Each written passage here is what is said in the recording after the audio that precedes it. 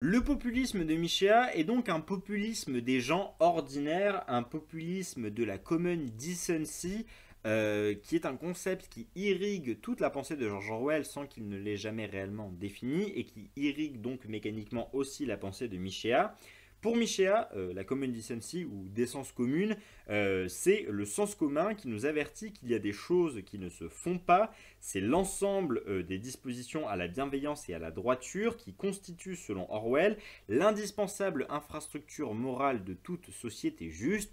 C'est un ensemble de valeurs partagées et de solidarité qui sont effectivement pratiquées tous les jours par le peuple.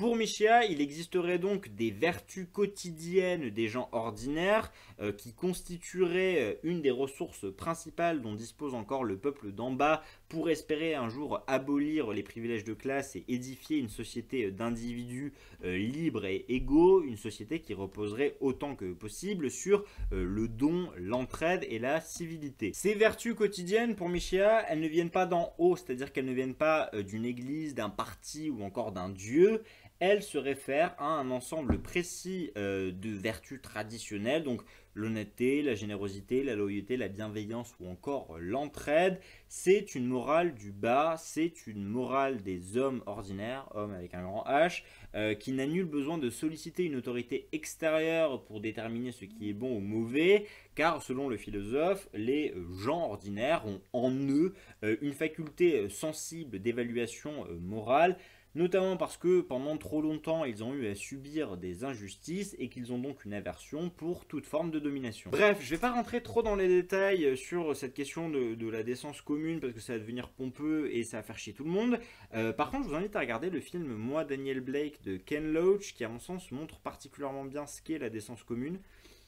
Euh, parce que dans ce film, on voit des gens qui sont précaires, qui ne s'en sortent pas euh, dans la vie, euh, mais qui vont tenter de mettre en place des réseaux de solidarité parce qu'il ne leur reste que ça hein, entre, entre gens ordinaires. Il ne reste malheureusement que la solidarité. donc on va les voir s'aider à faire les courses les uns des autres. S'il y en a un qui sait faire des meubles, je vous spoil pas trop, mais il va faire des meubles pour ses voisins. Enfin bref ce film montre particulièrement bien ce qu'est euh, la décence commune et ce qu'est euh, cette morale du bas. D'ailleurs, Michel nous dit que les valeurs traditionnelles d'entraide et de solidarité sont massivement présentes dans les milieux populaires. Par contre, plus on s'élève dans la société, plus euh, ces valeurs d'entraide et de solidarité vont se faire rares.